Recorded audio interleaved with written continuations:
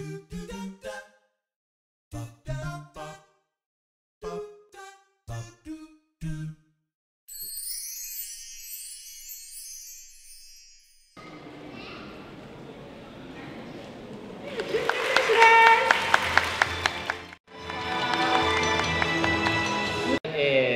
ー、埼玉支部の登録4444桐生純平です、えー、本日はよろしくお願いします。お休みに入って、はい。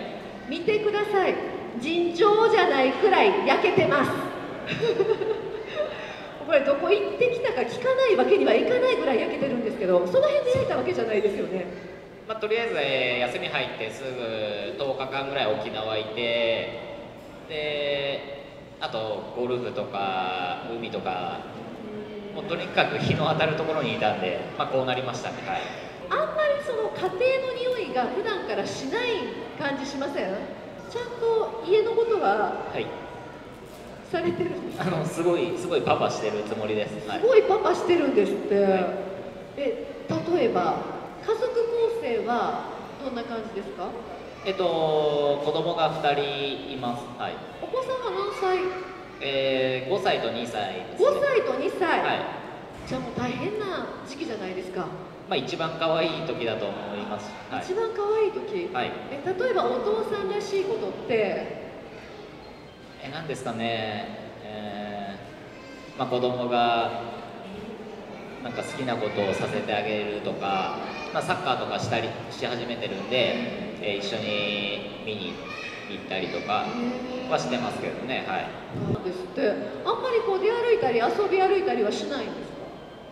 うーん。もう30過ぎてるんでねちょっともう10時ぐらいには眠くなっちゃうんで10時ぐらいには寝ます。はい。いやもう一気に眠くなりますねもう。なんか子供と一緒に寝るっていうのが今幸せです、はい。ナイターとかやったら眠たくなってでナイターめちゃくちゃ眠いですね。最初の2日間ぐらいはすごい眠たいです。なんでナイターだったら晩ご飯いらないでそのまんまお風呂入って寝たいなっていう。そうおじいちゃんおじいちゃんと喋ってるみたい。えじゃあそれモーニングデイレースナイターレースってありますけど、はい。一番自分のリズムに合った時間帯は？あナイターレースですね。あそれでもナイターレース？あのーやっぱりレース始まるまですごい時間あるんで、はいはいもう11時ぐらいまでは寝てられるんでなんでもう、まあ、11時ぐらいには寝て11時に起きるっていう。そんな。あもうめちゃくちゃ寝たいですね。12時間ぐらいだったら余裕で寝れますね。そうなんですって、い。なんか早寝遅起き。はい、はいだからナイターが体には合ってるわけですね。そうですね。そっちの方が寝れるんでいいなっていう。はい。で桐生選手と言いますと去年、えーボートレース界の頂点に立ってで頂を見たわけですけれども、誰のターン旋旋回が一番すごいですかっていう質問には大体桐生選手茅原選手の名前が上がるわけですよ。